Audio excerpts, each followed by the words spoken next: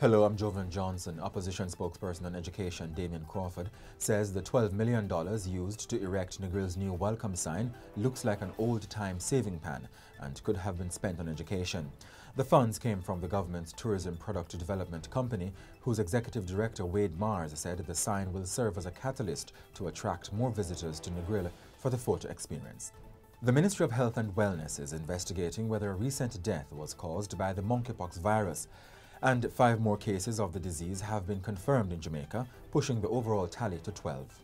Several students of Godfrey Stewart High School in Savanna-la-Mar, Westmoreland were locked out on Monday reportedly over violations of the school's dress code.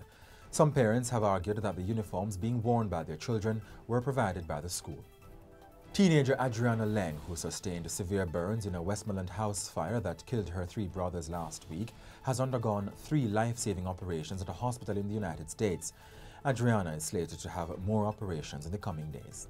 In sports, the police are investigating a case of theft after the personal belongings of members of St. George's College's Manning Cup football team went missing from the changing room at Kingston's Sabina Park on Saturday. The team had returned from beating Ardenne 6-0 when they discovered their items missing.